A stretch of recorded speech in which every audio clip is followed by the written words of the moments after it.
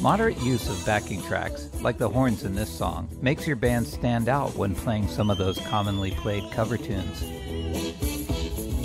If you want an edge in the competitive cover band market, backing tracks will certainly make you stand out. Check out how the backing tracks pack a punch to end this song with the horns.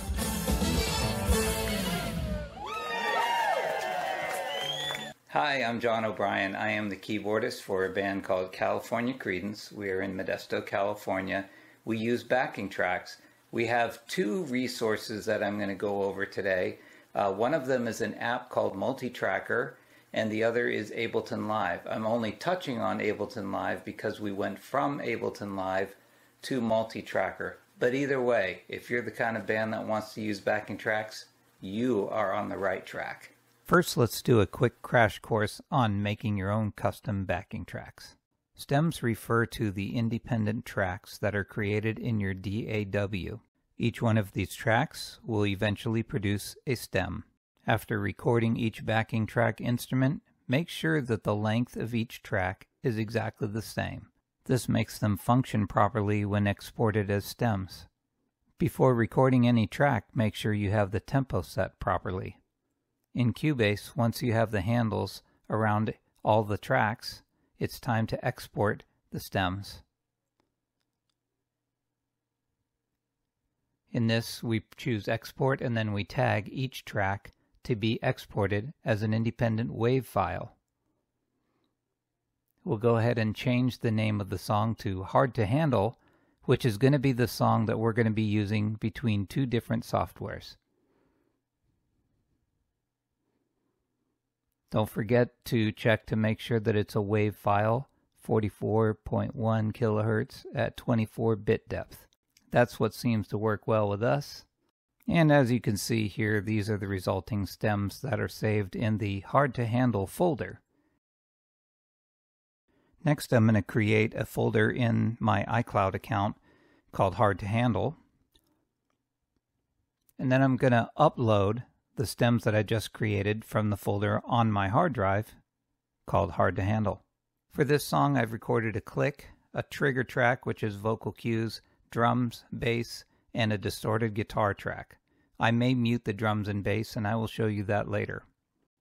And now the tracks are uploaded to my iCloud to be used when I'm using the iPad with Multitracker. But for now, we're going to take a look at how we used to do things, and that is using Ableton Live, where we load the stems directly onto the computer as opposed to the iCloud. So before using the Multitracker app on the iPad, we've been using Ableton Live for the past four years. So imagine that we have those tracks uh, or the stems that we created and we put them into the hard to handle folder. I'm going to go ahead and point Ableton to the folder, which is what we would normally do to load a new song. We'll just go into that folder and click on uh, hard to handle and I'll expand this. So each one of these um, stems are loaded into a column, and each column in Ableton represents a separate track. Each row in Ableton represents the entire song. And since the stems are of equal length, the song will deploy exactly as it's supposed to. So then we just name this hard to handle, and when we launch the song, it'll just go ahead and play, and everything will be perfectly in timing. So if you want to have a look at what our performance laptop looks like, this is when all of our songs are loaded. You can see all the different tracks. Then we launch each track using a MIDI controller, and that gives us the chance to do this like scrolling between songs. We launch a song, and while the song is playing, I can scroll to another song down lower or move around to a different song and while the other song is playing, once I hit play, it'll move to the next song. And so this is tremendous uh, freedom in doing a show because I can bounce between songs whenever I wish. The only problem is, is that the display is hard to see on stage, and that's when multi-tracker becomes a handy tool. So the rest of this video is focused on the iPad app multi-tracker. Okay, so here we are. Um, you're uh, looking at multi-tracker. Um, and uh, this is basically uh, the overall. You can see me in the reflection, hello, and you can see my camera. Um, but if you're looking at the multi-tracker over here, you have a, a host of menus. I'm just going to show you that there are some in-app purchases. For me, I've already purchased the audio, but you can purchase just audio and just MIDI. It's 27 bucks is the total. That's the most expensive price. I want to get you down to uh, the live view, uh, which is where the money is. Uh, this is where we're trying to get to. This is the current track that's playing. This is the next track that's coming up. And this is the next track that's coming up. Over here, you have uh, your listing of uh, order. So this is your set. And since we are California Creedence and we play Creedence stuff, you'll see some of that in there. Let's say, for example, I want to end on China Grove, but maybe not American Band. That's what this is for. So I can just change the order like that. Well, let's just go ahead and change it back. And you see how this is easy and so on and so forth. So that's a super huge, very cool feature. Um, another uh, thing is, is when you start on the start button, it tells you what song you're on. Okay, but uh, the the one thing that you want to make sure to have a look at is just how compatible this is with uh, other audio interfaces.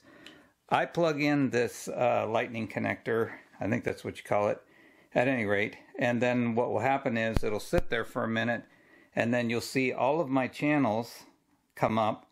I have 12 output channels that are now configured. That means that I, I am only using four channels, which is typical for backing tracks. One and two is stereo right and left. Three I usually use for bass. Four is for the click and the triggers. And those go into different places in the mixer. I would have to go over that in a larger way. Today we're just focusing on doing backing tracks. So this is where you want to get to, and this is what kind of it sounds like going off. Now on this particular track, let's say for example, uh, I'm at practice and I want to make some adjustments. So here I am now in this other view, this is playlist view. Oh, I want to hear the drums and the bass. Okay, there we go. Now we've got drums and bass going here. Now, uh, this is the, the one of the views that you have where you can mix on the fly. Now this is kind of making adjustments after you've created a song, so I'm working backwards here. Um, whenever you make these adjustments, you can do a quick save. That means that it's going to quickly save the adjustments. This is where you're practicing with the band, you're dialing in how the backing tracks will sound. Right now, I want this song to play um, without uh, the bass and the drums because we have a bassist and we have a drummer. So I'm just programming this. So let's take it from the top. How do we get to this? Um, how do we get to having all these playlists? And so uh, one of the things that you do is you go into configuration mode. Okay, so this is where we create the song. But before we can get to anything in there, uh, remember we had that track that was um, hard to handle. Now I have a bunch of songs that are loaded into here and as you can see, they're alphabetically ordered. Um, these are all the songs that I have programmed in here. But if you go under H, we can see that there is no hard to handle song.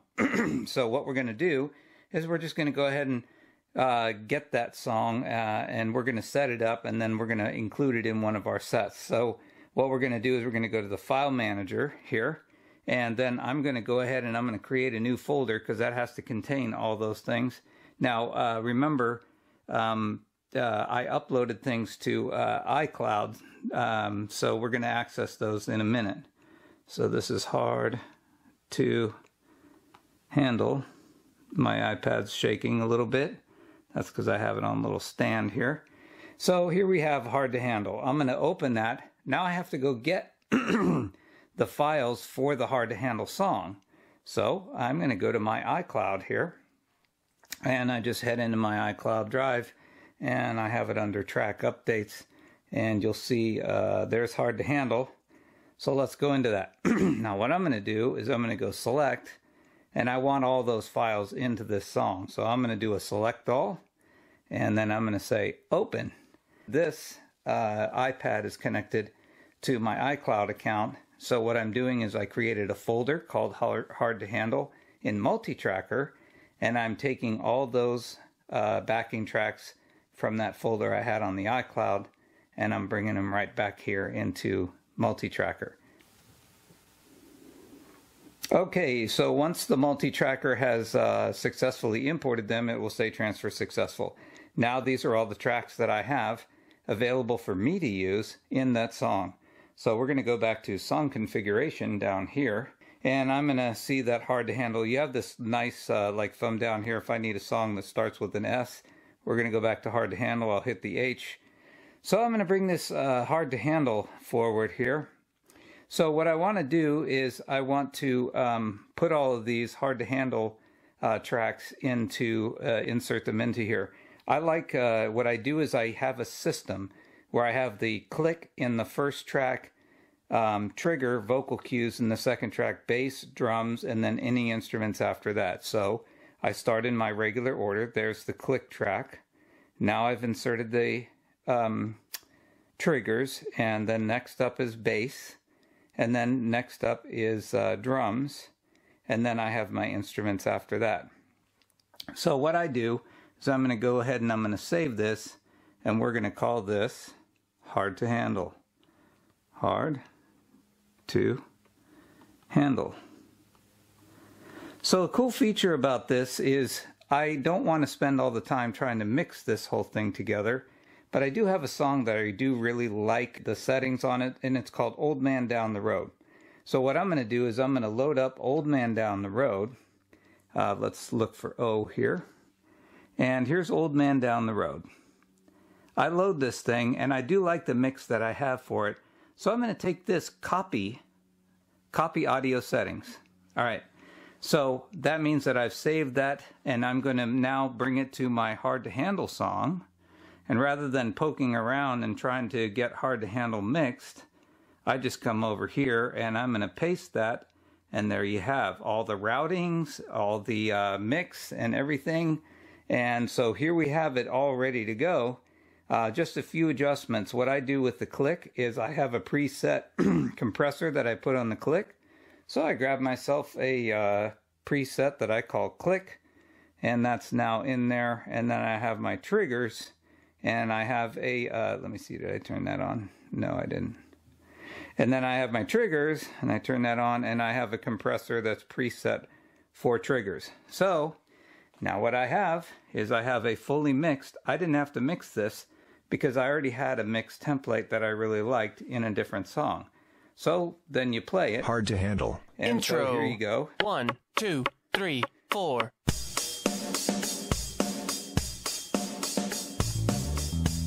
Now, now that might sound like wow, some of the drums are a little bit hot.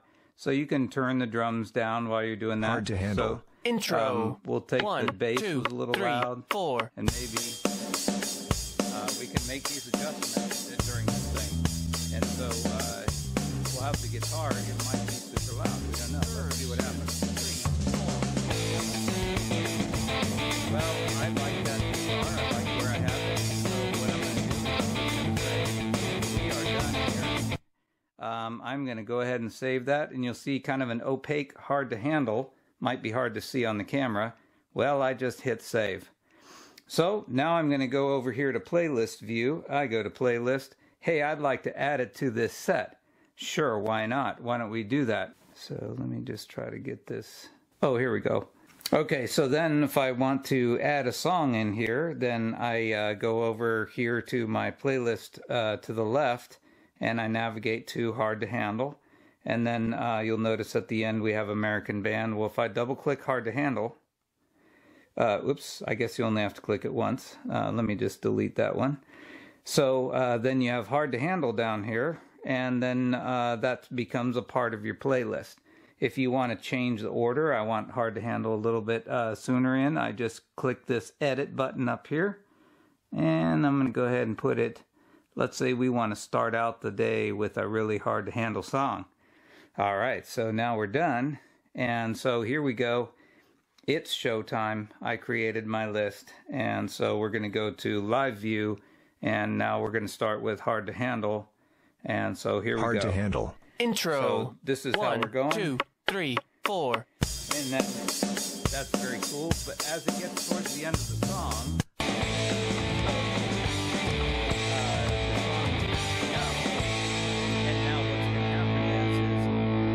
automatically proceed to the next song, but it won't launch. So, which is cool because it's now going to wait. And it's got the title here. You're on Born on the Bayou. And then two back is these different songs. Very cool. So, uh, very nice uh, setup for live. And then uh, let's say, for example, I want to create a new set. Um, I want to have my own set.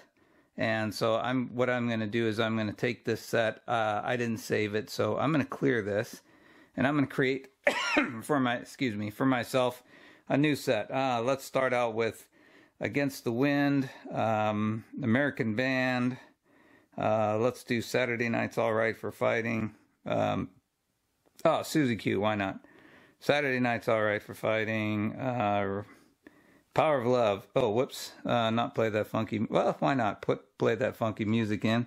And then so maybe I want to change that order. Let's put that there because we want to end on that, and so on and so forth. You'll notice as I'm adding music that you'll see the the overall time of my set changes. So now I put in. See how that changes? Well, I want to get a 45 minute set. So here we're we're starting to see how we're building up just how long this is going to be okay, I'm pretty close. I need a short one. So uh, let's say, uh, give me some loving. There we go. We've hit the 45 minute. Okay, so now we're gonna um, change this, and we're just gonna. I'm just gonna label this as train. Ing. Now I've created my set list. So if I'm getting ready to do a gig, then I'm going to be taking this and uh, you know let's say i fire up this thing and it's uh, maybe over here in song configuration and it's looking all blank. So i come to here and i have a oh i want to uh, and let's say i had a different we were on a yacht set and we played that. Um, so now we want to play a different set and um, i'd like to play um, uh, the training set. So here we are. I just created that set. So now that we're in there i'm done here um, now that we're in there, I have that set that I just created just a second ago, and now we're ready to launch it. And you know, against now we're going to play wind. against the wind. Intro. One. So two, the nice thing three, about this four. is this uh, place, and just as a final note, um, all of these uh, are routed into. Let's say I open against the wind. Um, against the wind has a click, so the click is going to be going on channel four. And channel four is uh, where that's routed to just in our ears. Um, the triggers are going to be going to the same place. They're going to be going to four. The bass is going to channel three. And then all these other respective um, uh, instruments are going to be going to the stereo out one and two. This is what goes to the house, right and left. So that's why you pick uh, let's say you have here, you have your right and your left channel. And so this is uh, channel one and channel two. So, and that's how it kind of goes. And then what's cool is this is output one. So this is going to give you some feedback when you select this thing. It'll say, well, what's routed to that? Okay. Uh, what's routed to uh, number uh, two? So that's the other stereo. So this is the click track. If I go here, you'll see that the click and triggers are on output 4 and you'll see that the bass track is on output 3 so if you're saying oh to my uh, audio interface where's everything going? That kind of nails all that down. So overall um, it's a very cool program. Uh, it's called multi-tracker and uh, it's a fantastic uh, beautiful uh, thing that i'm using here and uh, oh, I'm going to general. Here's what we want: multi-tracker. It's uh, it's a really really useful tool, and hopefully